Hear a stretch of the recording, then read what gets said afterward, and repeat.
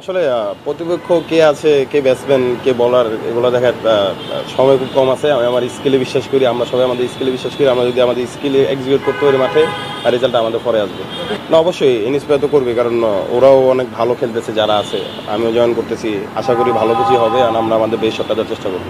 না, সবসময় আমি আমার বোলিং বাসে ব্যাটিংয়ে যতটুকু পারি কন্ট্রিবিউশন করার চেষ্টা করি সো প্রিপারেশন ওইভাবে নেওয়া আছে, যদি কখনো কখনো প্রয়োজন হয় ব্যাটিংয়ের আমি আমার বেস্টটা দিয়ে চেষ্টা করব ইনশাল্লাহ না, অবশ্যই এটা তো অনেক তৃপ্তি দেয়। যখন আমি ওদেরকে দেখছি, ওরা যখন আগে খেলছে আমি সবসময় ওদের জন্য দোয়া করতাম, ওরা যেন ভালো খেলে এবং ইভেন সবাই ভালো করতেছে, যেমন সাকিব শরীফুল হৃদয় ভাই ডোমেন্ট করে খেলতেছে, দেখতে ভালো লাগে। এখন যখন আমার সুযোগ আসছে, আমি চেষ্টা করব ওরকম ডোমেন্ট করে খেলার জন্য। না, অবশ্যই ভালো লাগতেছে, আনন্দিত খুব প্রথমবার টি টোয়েন্টি দলের সুযোগ পেয়ে, আর ইন্ডিয়ার সাথে খেলা, তো প্রিপারেশন ওরকম ভালোভাবে নেওয়া হয়েছে, কারণ আমরা এখানে অনেকদিন প্র্যাকটিস করছি প্র্যাকটিস ম্যাচও খেলছি। তো প্রিপারেশন ওয়াইজও সবাই রেডি আছে ইনশাল্লাহ ভালো কিছু হবে। আমার প্রিপারেশন পার্সোনালি আমি যতটুকু প্রয়োজন ততটুকু নেওয়ার চেষ্টা করছি, কারণ ইমপ্রুভ ইমপ্রুভের শেষ নাই। সো আমি এখানে যখন ক্যাম্প হয়েছে, আমাদের শরীর সাথে কাজ করার চেষ্টা করছি, কি, কোন জায়গাগুলো গ্রুপ করা যায়। সো ওইভাবেই নিজেকে প্রস্তুত করছি, এখন মাঠে খেললে ইনশাল্লাহ ভালো প্রদর্শনের চেষ্টা করব। না, দেখেন, আমি আমার ছেলেটা দিয়ে চেষ্টা করব, কারণ ওইভাবেই নিজেকে রেডি করতে যদি আমি দলের সুযোগ পাই, নিজের বেশ শটটা দেওয়ার চেষ্টা করব।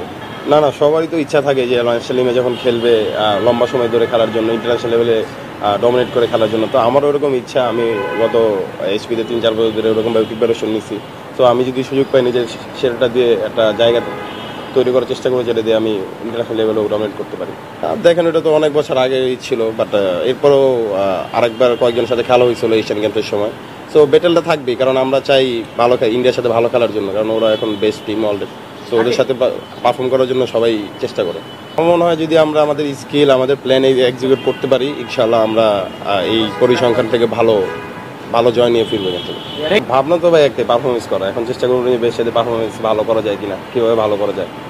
দেখেন সবারই তো আমি তো আগেও বললাম যে সবারই ওই মেন্টালিটি থাকে যে ইন্টারন্যাশনাল লেভেলে খেললে যেন দশ পনেরো বিশ বছর বা দশ বছর ডমিনেট করে খেলা যায়। So সবাই সেই প্ল্যান নিয়ে খেলে ওইভাবেই প্রোগ্রেস হয়। আমারও same thank you thank you